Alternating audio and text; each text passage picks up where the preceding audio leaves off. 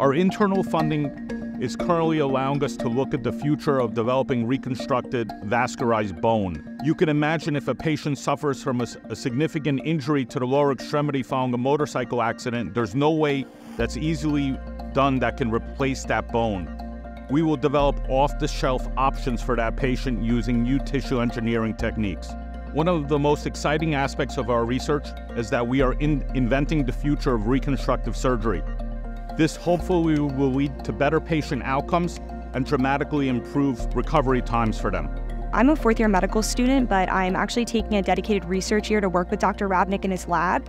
I think I have a pretty unique role in this research. Um, I work kind of as a liaison between University Park biomedical engineers and material scientists in their work, and the College of Medicine and Dr. Ravnic's work with stem cell research and tissue regeneration. The benefits to patients would not only be aesthetically and cosmetically similar to what um, a bone graft would be, um, but if we're able to actually make bone in the lab that is vascularized, then it will have the same mechanical stability that bone would have.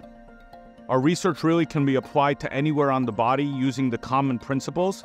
And so while we're looking bone currently in the context of this grant, we are also looking at soft tissue reconstruction that can be then combined with bone reconstruction to virtually treat anywhere on the body. I'm excited to be involved in the research. As a surgeon, our mantra is usually to do the same operation over and over to get the exact same results. However, research allows you to do something completely differently to get new results and hopefully better results. We are the Penn State College of Surgical Innovation Medicine.